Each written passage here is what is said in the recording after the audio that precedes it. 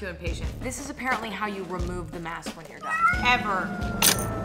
Absolute ball doing it. So easily 8 out of 10. This is like the X Games mode version. Next.